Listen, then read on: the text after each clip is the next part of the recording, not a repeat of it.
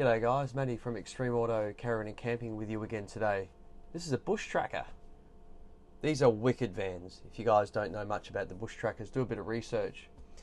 They are they are probably one of the or amongst one of the best built caravans out there.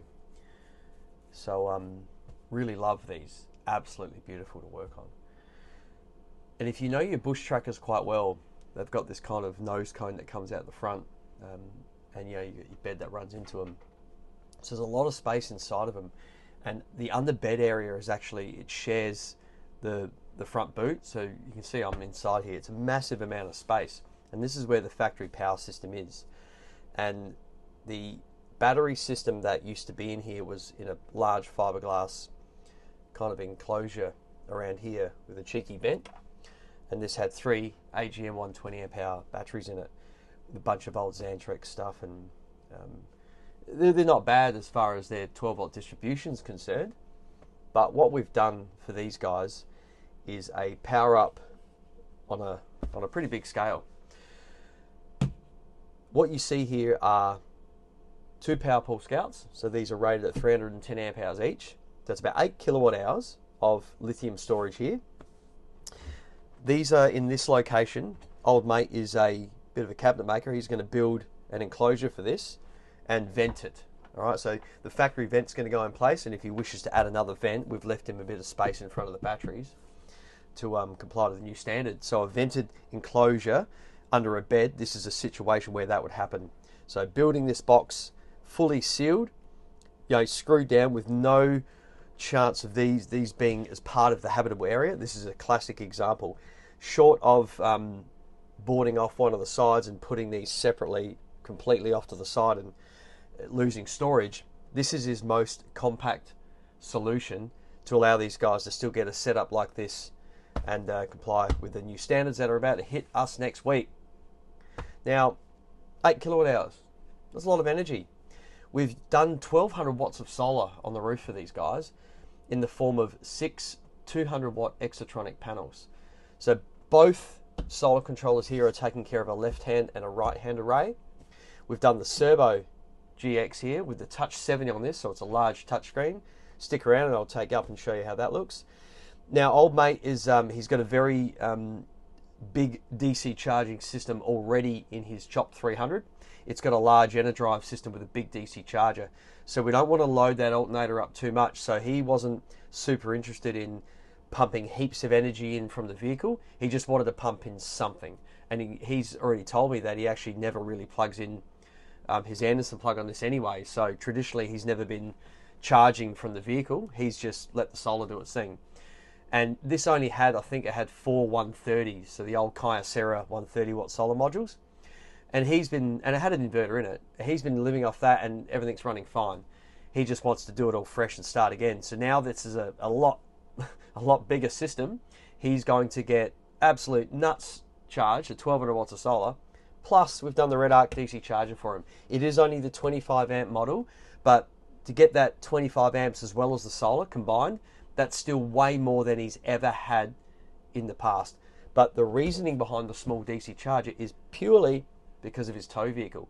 He's already got the system in it. So he's got a his EnerDrive 40 plus ramped right up to 50 with an EnerDrive battery. So that alternator is already, you know, pumping 60 to 70 to keep that DC charger going to produce the 50. It's not 100% efficient.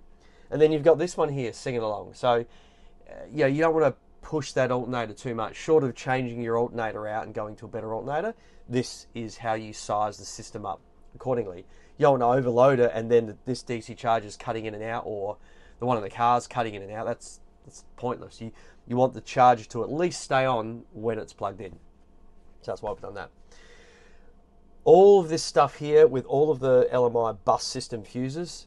The shunt is down there, so it's got the Victron Smart Shunt. Can't see it, it's all tucked away. You never need to get to it. We've got the master fuse for the inverter down here, easily accessible right there. 95 mil cable, the multi plus two, because this is a Bushtracker with a very high underbed area, so we are allowed to get the multi two in here um, with that sort of sizing perfect height for it. There's still a lot of space underneath for airflow, left and right. As, and as you can see, this is all open. And also the mounting of these solar controllers. Take note of the way we mount our solar controllers, guys. 99% of the time, we mount them vertically like this. The reasoning we mount them vertically is basically for airflow. So we don't like to jam these right up up high somewhere. So when natural convection happens and airflow goes under the solar controller, it it has nowhere to go. So you end up with these getting to their temperature, which is you know 40 plus degrees, and then they start to derate. Well, that's no fun. You you want to try to inhibit airflow around the product as best as you can. Sometimes you don't have a choice, and you just got to you know vent so much that you try to inhibit airflow. But when you can, you always try and mount these vertically. We love to do that, and we get great results. Um, and you can see the videos with our numbers we're getting. And we've got hundreds of customers getting around the countries with, with systems like this, mounted like this, and they're producing big numbers day in, day out. They don't really derate. So, something to keep in mind, guys. Try and keep them vertical. Like I said, there's the Cerbo. All of the products are running here. It's all monitored up on a Touch 70. Master isolators, that's the battery isolator. And you will see us be uh, fit, starting to fit these as a standard now, basically to cover the battery. If there's a disconnect that's involved, if they work on the van, they store it, whatever they want to do, and they want to do a master kill, turn that. You can actually pull this knob out. This is a Victron switch, so you can actually pull that knob completely out. Security, no power will ever come on at all on this thing. There are a lot of LMI bus fuses here because this had an original power system set up in this location. So we've redone those circuits on the top section here. 50 mil cable comes in, and then we've done the all the chargers on the bottom. So you've got solar right hand, solar left hand, and DC charger here. And then flipping the form over here, sway control, Jack Anderson, main 12 and brakes. So this has the Dexter sway control. That's been relocated and completely rewired. Display fuses are located behind that, easily accessible. Yeah, I think we should go and check out the touchscreen because it's in a really good location. Come with me. So fridge location, we've done it on the side for these guys at the customer's request. Yeah, we could have put it up in the uh, Bushtracker position, which we've done them plenty of times up here. But like I keep saying to you guys, you've got to have this up if you want to see what's going on. So the original Xantrex inverter controller was in this location, and the original battery monitor was in this location. But just to the left of it is where we've done the Touch 70. Right, we'll close that, we'll get into this. Now we've added a bunch of stuff for these guys. We're actually running the um, Harrier Plus at the moment on heat. Got that cranked up just to smash some energy out of this because we are in a large storage shed here. So um, obviously we've got no sun, so we do have a sunny day. So we're going to roll this out in a couple of hours time. It's only like 7.30. So we're going to roll this out. We're going to see what kind of numbers we get. Uh, what are we sort of late October now? We should see some good numbers from the system. So we're smashing the battery down now. I'm going to try and get it around the sort of 65, maybe 70% mark. I'll shut that AC down shortly. But check this out. All the tanks. We're actually two sensors short because we've run out of stock. So we've got, they're on a, a bit of a back order at the moment. So we've done the LPG and LPG right hand and left hand with the Mopeka sensors. We've also done the Mopeka sensors on his tanks. This thing has five tanks, so two more will show up here eventually. So you've got a drinking water tank and four water tanks. And look at that beautiful screen to see your tanks. Isn't that beautiful? So much better than the old type of little push button and you know empty, quarter, half, whatever. This is accurate, and especially when you program the uh, program it correctly, you have clarity and accuracy like this. And there is no wiring between the sensor and the computer. So it's just less stuff to install. We love them. It's you know we don't we don't do the installation of those um, differential pressure sensors too much now. It is these Mopeka sensors because it does the LPG, it does the water, it does your grey, it does diesel tanks. Pretty much monitor any tank you wish, guys. All on the Victron touchscreen.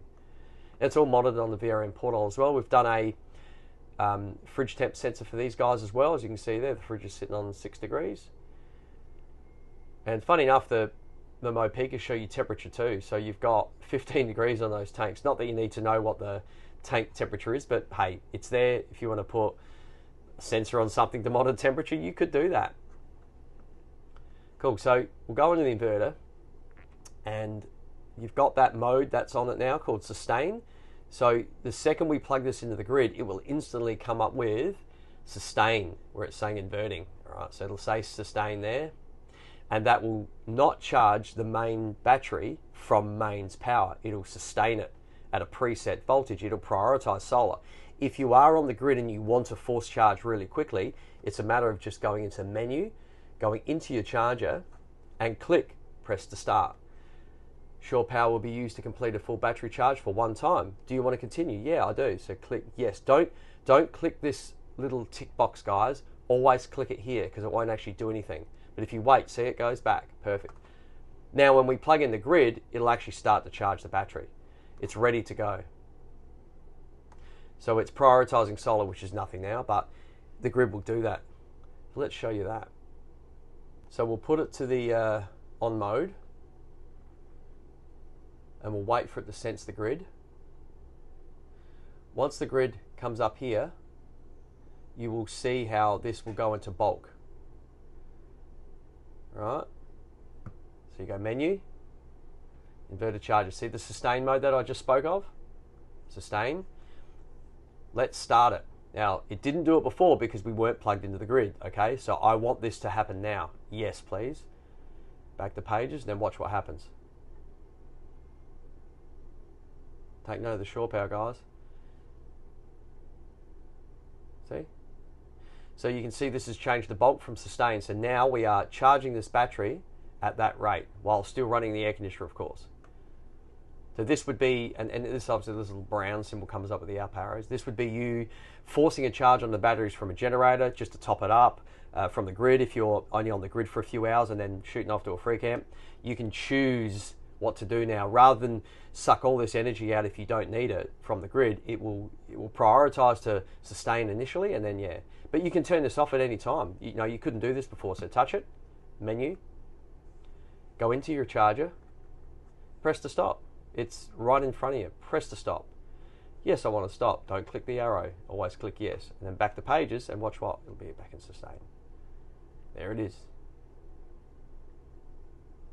And this, because we're still on the grid, take note how this is kind of matching this, right? And it's sustaining. So there is a bit of energy going into the battery because the sustained voltage we have set is for a predetermined number, part of our programming. So that's why a little bit more energy is going this way. And you can see that by the movement of these little blue bubbles. I call them bubbles. Cool, hey?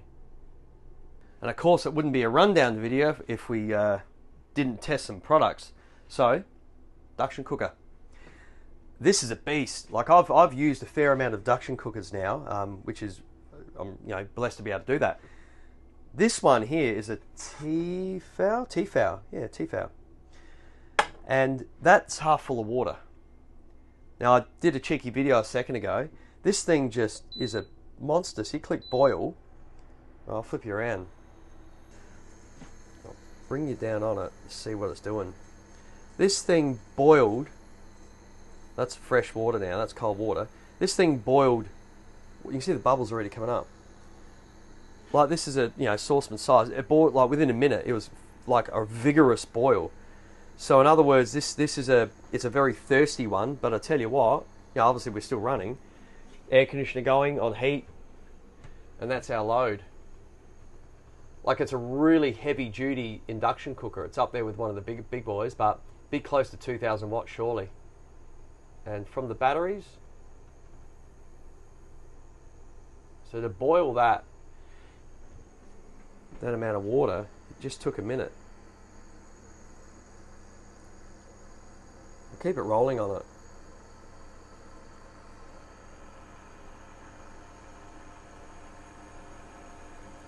Look at that. Hopefully you can hear that, but she's yeah, that's that's vigorous. That's a heavy duty one. And if you're, you know, if you're doing sausages or, or meat or whatever, you, you know as well as I do, you're not going to have it on flat out. It just burns it. Yeah, you, know, you don't do that. You throttle it back. So look at that. How quick is this? That's less than a minute. That has to be less than a minute. Oh, it's going to get steamy in here. Shut that down. Look at that.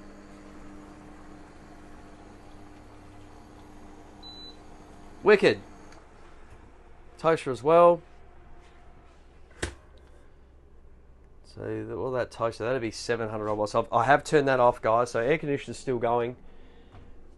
And so a toaster and an air conditioner is right there.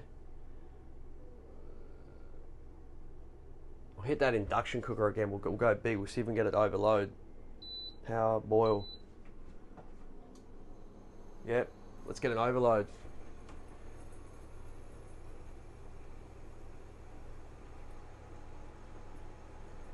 Wow, that's a big load. That's boiling away. Vigorous as. Cool. Get that one off as well. Probably dusty and it's going to smell in here, so I don't want to stink out the customer's van. Beautiful.